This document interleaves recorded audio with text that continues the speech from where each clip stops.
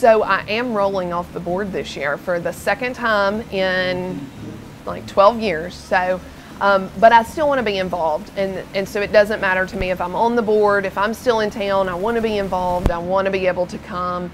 Um, everybody impacts you differently at different stages in life, and so it's been great to know people 10 years ago that I'm still working with now, and so I hope in 10 years I'm working with new people on the board and still working with some of those others.